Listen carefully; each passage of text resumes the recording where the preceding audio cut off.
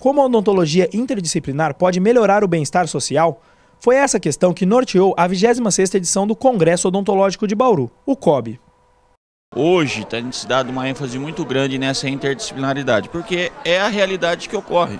Então, dentro de um tratamento de uma área clínica específica, tem outras áreas envolvidas. E o profissional que domina esses conhecimentos e agrega a parte clínica, ou seja, utiliza do conhecimento dessa interdisciplinaridade, então você, aquele profissional consegue promover um nível de atendimento muito maior e melhor ao, ao paciente. O COB é um evento organizado anualmente pelos alunos do quarto ano de graduação em odontologia da USP de Bauru.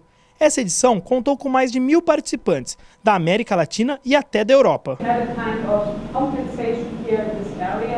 As palestras, cursos e exposições abordaram os mais diversos temas da odontologia.